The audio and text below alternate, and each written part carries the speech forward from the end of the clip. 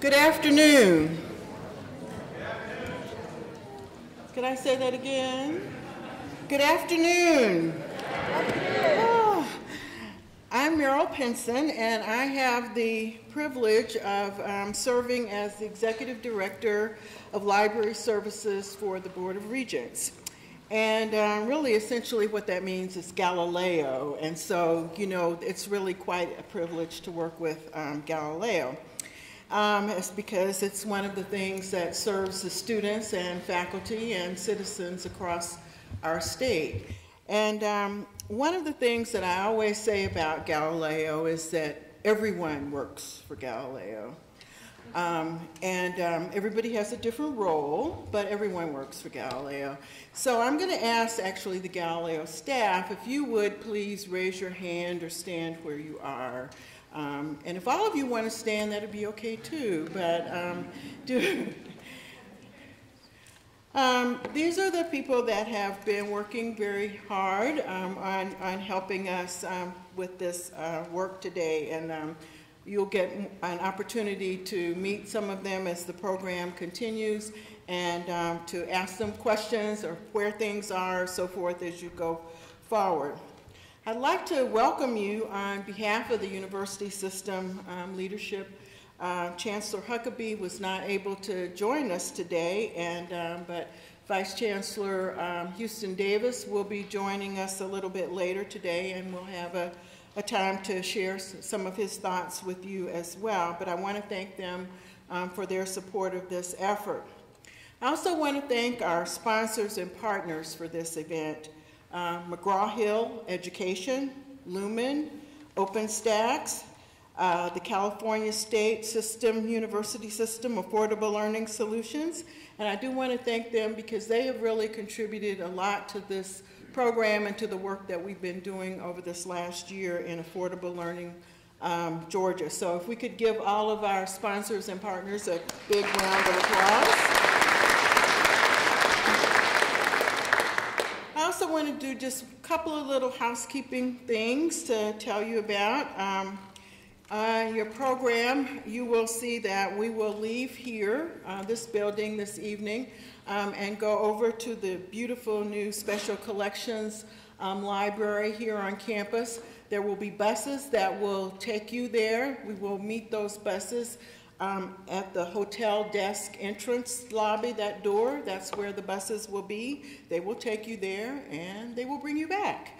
Um, um, so want you to be sure to, to know that.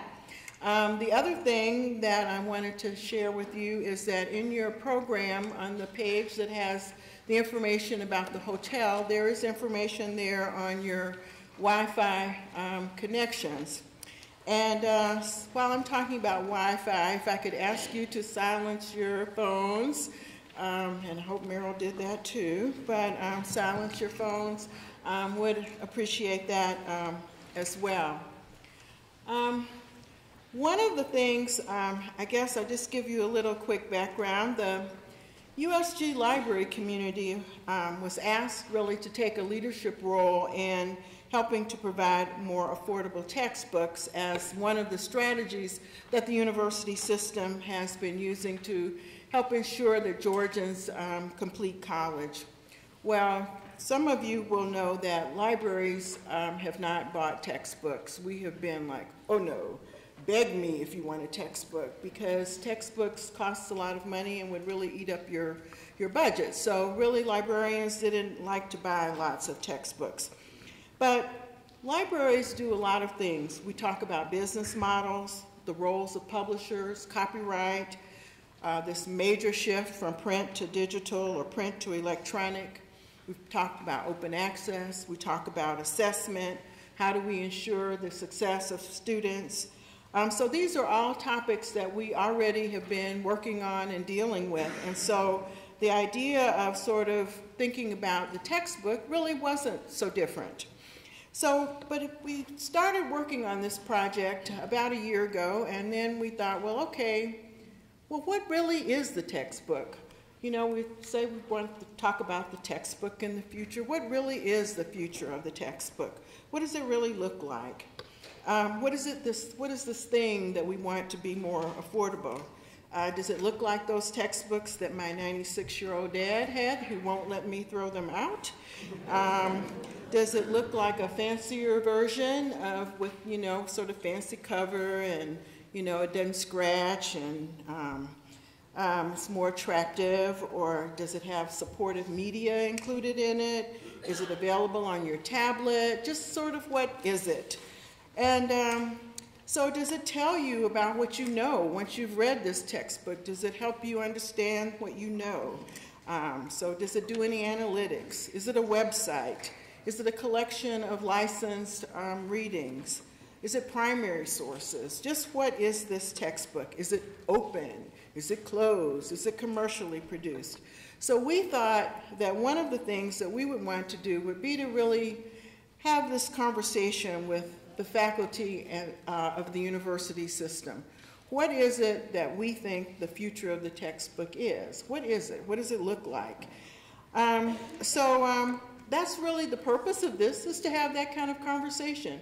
It's not a new conversation. I'm sure that when people removed the chains from the books at the Bodleian Library, that was also something people were thinking about. But we want to continue to have this conversation. And so today we have a diverse group of speakers who will help us think about this. And um, so um, I'm looking forward to all of this, but the conversation about what this is. So one of the things that you have as an opportunity is to tell us what you think the future is.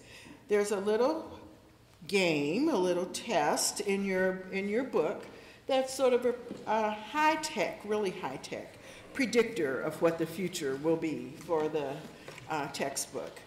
And the winner will receive a prize, and it will be announced later. And you, it says in your program, you have until 5 p.m. today to turn it in, but we'll have um, the opportunity for you to turn your results in um, tonight at the reception as well. So if you don't get it turned in today, you can do it uh, at, um, uh, this afternoon. You can turn it in um, tonight at the at the reception. But at this point, um, I um, won't take a lot of uh, time to really introduce our speakers. They're all extremely accomplished, and um, we all are at a university, and mostly we can read. So, um, but I will um, just briefly welcome our speakers. So first, I'd like to welcome Dr. James Koch, who is the President Emeritus of Old Dominion University. So now, he is a retired college president, but I will tell you this, that when I was asking him about his work and efforts, the sparkle in his eye didn't come from the things about being the president. It came about the work that he's doing as an economist. And one of the things that he's working on as an economist is um, he's serving as an expert uh, sort of witness, I guess you would say, in the Cengage uh, Gale, librarians will know all of this, Cengage Gale bankruptcy um, efforts. And so I thought that was pretty cool, and he thinks it's pretty cool too. He's excited about it. But we're going to welcome him to come and talk about the um, sort of the status of where the textbook world is today.